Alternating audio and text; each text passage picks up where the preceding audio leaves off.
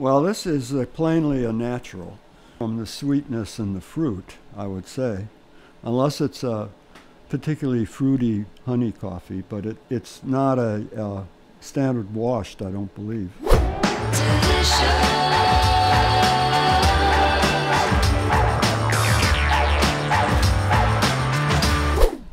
It's a very nice natural. It's kind of a has that sort of cherry, a clean, understated cherry chocolate, uh, chocolate covered cherry kind of, uh, you know, those candies that used to have when I was a kid, at least. Uh, they had a little brandy in them and sugar and cherry and a dark chocolate on around all of that. You know, I don't. I think they've gone out of style those candies, but they may come back if they're like this. but you know, it's all coffee too. It's not as though it's a flavored coffee. I mean, that it's very No, no. distinct, Yeah. but uh, Yeah. it's embedded or wrapped in the uh, classic coffee uh, uh, structure and aroma. Man. Mm. It's A little less impressive. Well, what do you think? I'm I'm liking what I'm having. It's very nice. It's uh, you get the um, the fermenty character in the in the cup that it, that you don't that I didn't get much in the nose, kind of a alcohol. Um, well, let's not call it alcohol. Let's call it. Let's give it a name. Brandy, maybe. No, it's it's too early.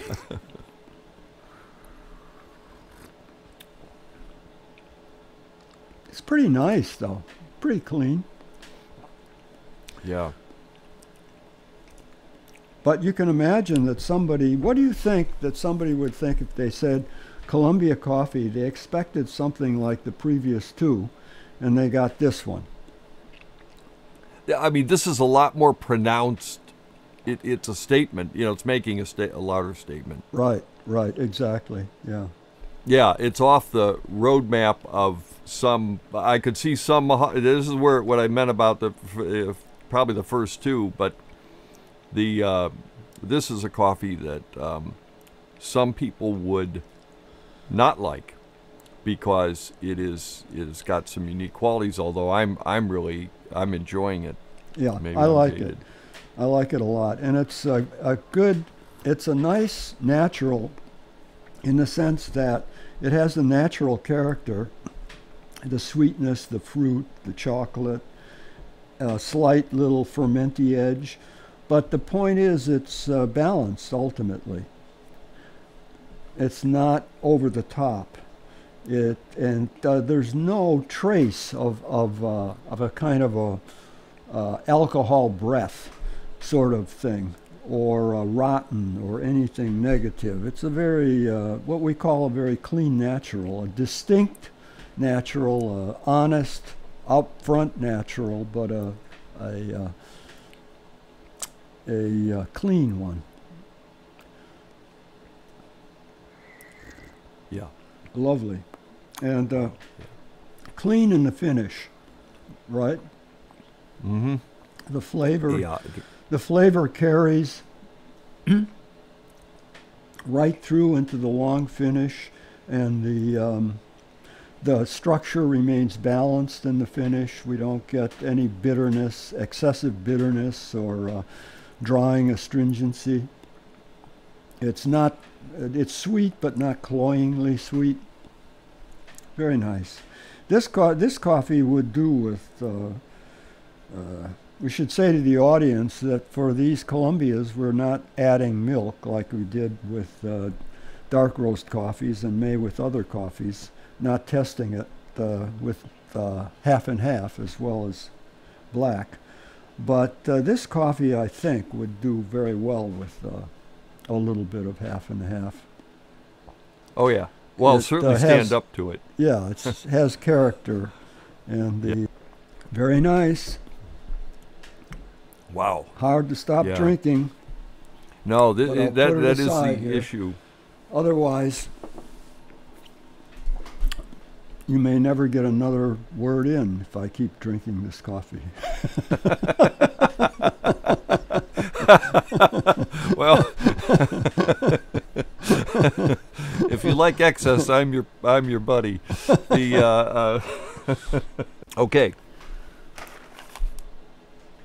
Bird, El Rock. Porvenir Tabi, and Our- it's uh, our friends in San Diego. from uh, Bird Rock. yeah, Jeff. Uh oh, wash company. process. Yeah, Oh I- man, Ken.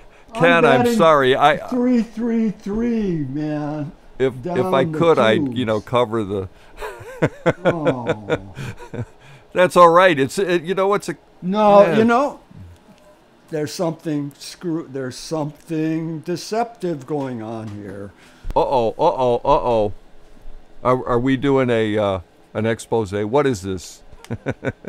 Well, you know, what does it say about the variety? Does it say anything about the Tabi Oh. variety? Tabi is a one of these newer varieties that people have been. Uh, uh, oh, so there so there may be but no. This but the this character, this sort of uh, slightly, uh, the kind of fruity, chocolatey, slightly Yeah. fermenty character uh, would not come from the variety. It would have to come from the uh, processing method. It seems to me. Well, Okay. Well, by the way, I just have to say to anyone who thinks that sometimes I, uh, when we were talking about dark roasts, I mentioned some coffees are too lightly roasted too. This coffee is just, man, they have it down. This is exactly where I think. Of course, they have it down because I like it. It's it's where I think it should be roasted. It's not uh, overly, but it's a light roast, but it's not. It's it's certainly fully roasted. has a very nice. nice mouthfeel too. Yeah, just a very uh, kind of lightly syrupy and Wow. plush. Yeah, it's a superb coffee, and uh, I feel completely betrayed here because I know that there's something going on in the processing of this coffee that, uh, that gives it this character. So, Well, I wouldn't have been able to tell. Absolutely, but I I look up to you as thinking you usually can, and I, when I can't get it. well, now, not today. No, no. I, I uh, what a failure! You'll never listen to me again. Are we canceling him? Are we? No, You- no, we're not. Yeah, well, okay, you- you- yeah, right. So long as you don't cancel me, you have to listen to We're not- me. So we're not going to cancel. I'll just keep shooting right. my mouth off and uh, blowing okay. it, you know. Well, that's the whole idea of the show, so that's fine. I tell you one thing we can say. This would be pure, pure speculation. That it's possible that the standard Colombia we started with was uh, mechanically uh, mechanically washed, scrubbed rather than fermented. Uh, and it could be true of the second, the very quiet Colombia too. But still in all, there's something going on in this coffee that I don't think you get in the classic wash process. I mean, there are all sorts of uh, experiments going on, like adding uh, wine yeasts to the ferment tank.